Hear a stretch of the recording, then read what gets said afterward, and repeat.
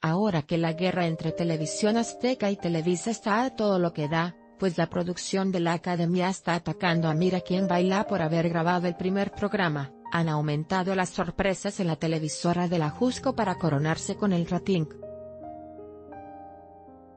Y para muestra de ello, está la sorpresa que le hizo la producción a Fernando, el académico quien al acabar su número musical fue sorprendido por la visita de su mamá. Al ver este hecho, el conductor no pudo evitar las lágrimas y recordó a su mami, quien falleció en 2015. Abraza a tu mamá que la tienes justamente atrás y yo ya no la tengo.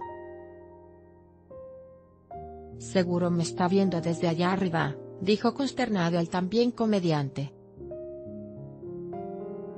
De manera inmediata, las redes sociales se llenaron de comentarios echándole ánimos al conductor, pues al parecer sí conmovió a la audiencia al hablar sobre su mami. Más noticias en MSN Salma Hayek, inspiración total para Kim Kardashian Ana Brenda se confiesa.